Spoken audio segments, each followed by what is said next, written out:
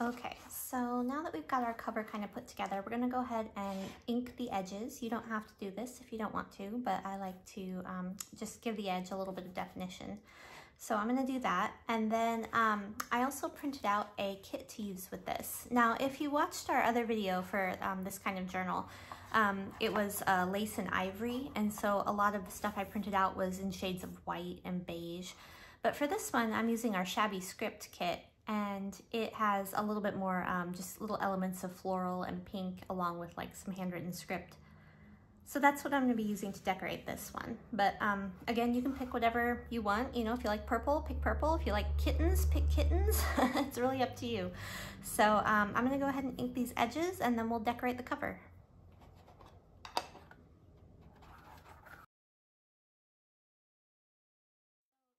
Cover, if you put your book together, these two little um, one and a half inch spines go to the side and this three inch spine goes over here. So that makes this the front cover. And um, you can see that I've got a seam here from the paper. And what I'm gonna do is just kind of cover that up and decorate the rest of it. So let's get started with that. And don't feel like you have to do everything exactly the way I'm doing it. You know, pick out your favorite card for the cover or pick out your favorite, you know, lace. You don't have to try to make it look exactly like this one. It's okay to do your own thing. And I'm going to do a little tearing.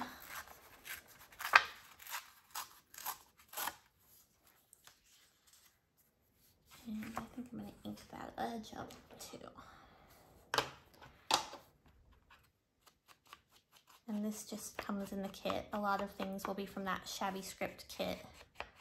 Well, oops, I forgot I wanted to. Well, that doesn't make much sense. I was going to round the corners, but since I'm tearing it, that doesn't make a whole lot of sense.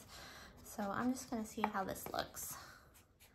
And a lot of junk journaling is that way too. You know, you try something, you look at it, and if it doesn't look right, you try something else. okay, I think I like that.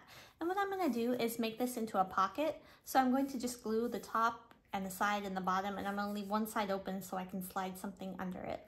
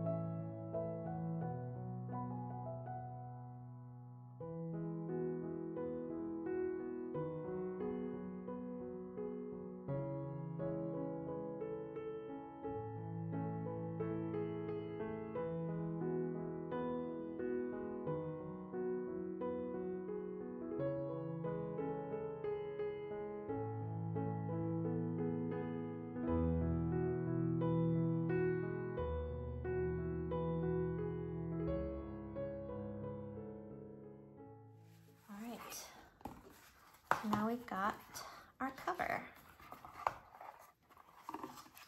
Voila! Looks pretty good. And I think now I'll go ahead and add something to this back cover. Mm, and since we're using our script, shabby script scrap pack, I think this looks pretty appropriate for this part. Excuse me, I got a little hiccup happening.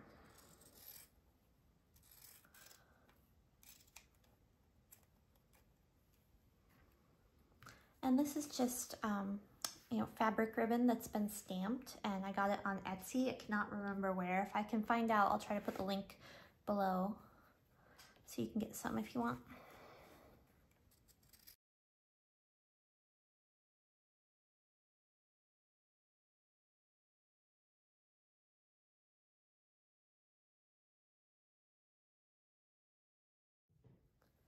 Okay, and I think I'm gonna add a little label holder.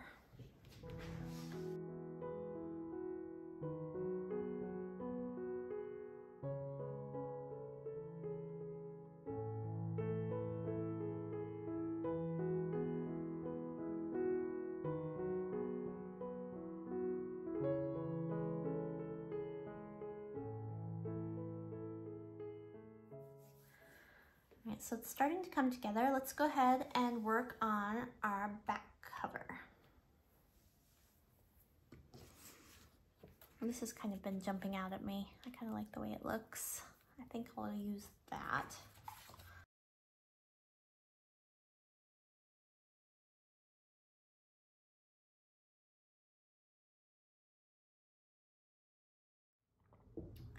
Okay, and since we've got it open, I think I'm gonna go ahead and decorate these inside flaps too. And so just to give you a visual, um, hopefully this doesn't fall off. These are going to go inside the journal like this. So when you first open it, these will be kind of the first flaps you see and then you'll open it the rest of the way. So I think I'm gonna put maybe some pockets or something on these. Just kind of decide here.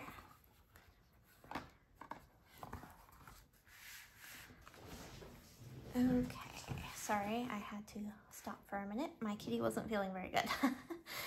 so um, we were talking about maybe adding some like pockets or something to these panels. And I went ahead and I printed some pages from the Shabby Script kit.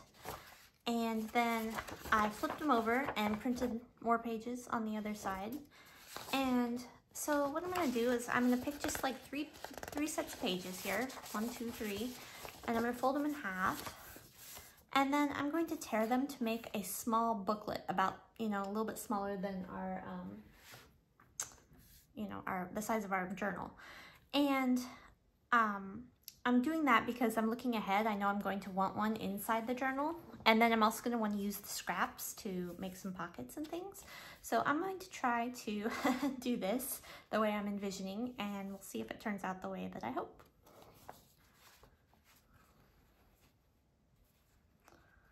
So what do I want to do first? Just try this.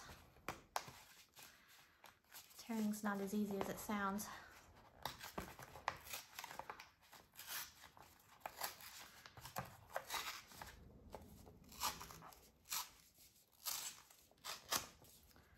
There we go. So something that's roughly, you know, this wide.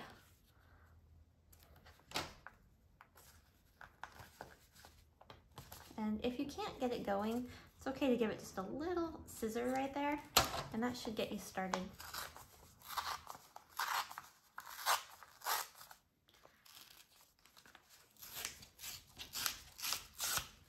And that gives us some nice scraps to work with.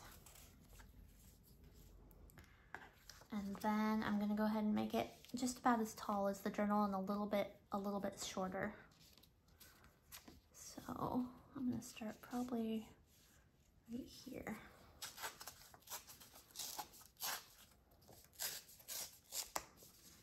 There we go. And um, this is actually going to have some layering to it. So what I'm going to do is kind of tear back this first page. And then tear back the second page only a little bit smaller.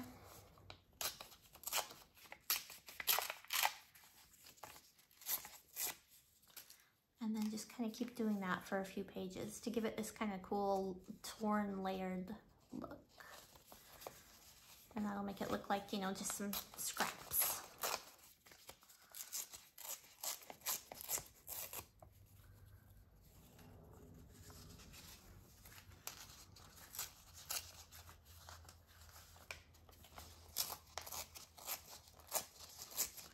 And I'm saving all these scraps because I'm going to probably use them to decorate parts of my journal.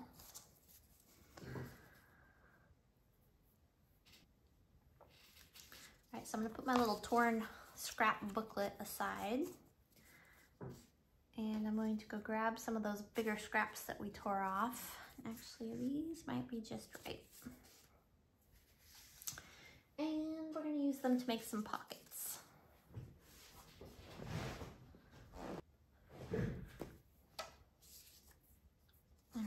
Kind of just pick the ones we like best.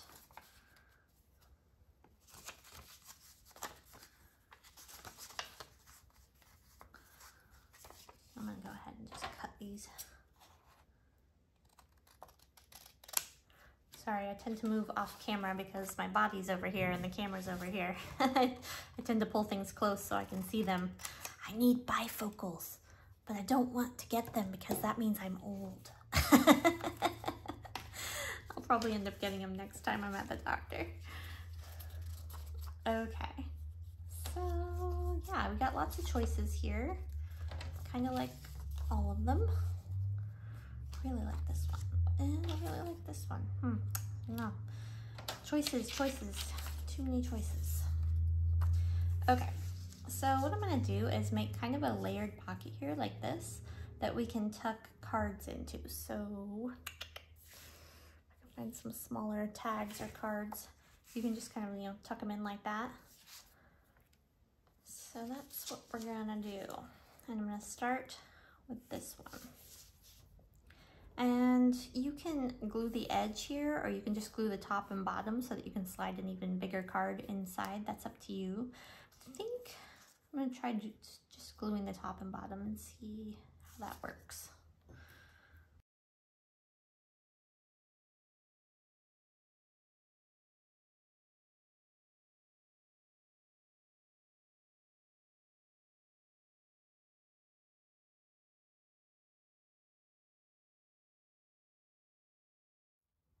Okay, and now you can see, if I can find some cards that will work here,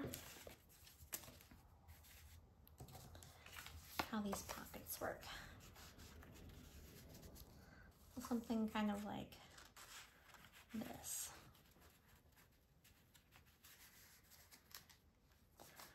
And I might have put this guy a little too far out. So he may not be the best pocket to use. I might leave him empty. But he's a nice little background pocket. And you can like tilt him out a little so we can see him. There we go. All right. I'm not going to do that yet though because I always do that before my glue dries and then I can't get them out of my pockets. Okay, and then we're gonna go ahead and decorate this back flap and I did print out some of the papers from the kit too, from the Shabby Script kit. And I might use one of those. Ooh, kind of like this one. So I think I'm going to just kind of tear this guy like this. And tear this guy. Yeah. The other direction.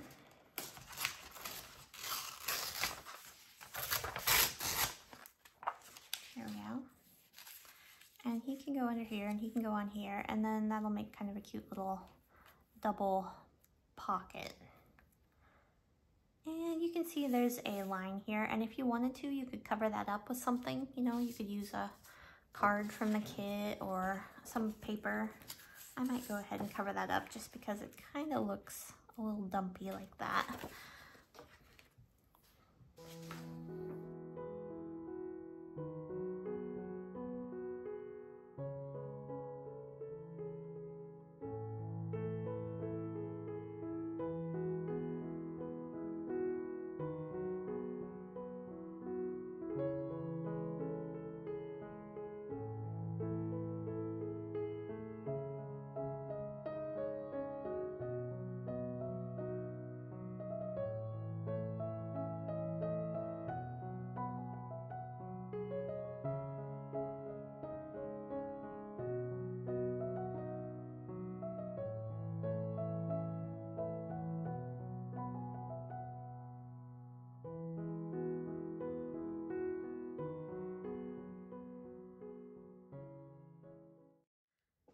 So you can see kind of how you can tuck something under there and then tuck something in there.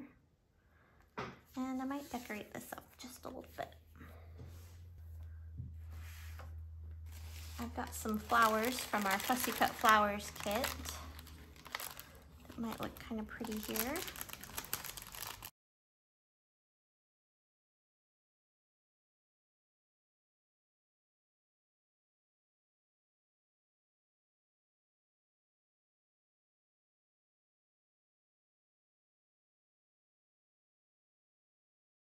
Go.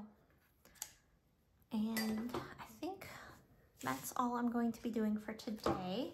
And when we come back, we'll start decorating inside our journal and then we'll put our clasp on. So thank you for watching everyone. We'll see you in the next segment.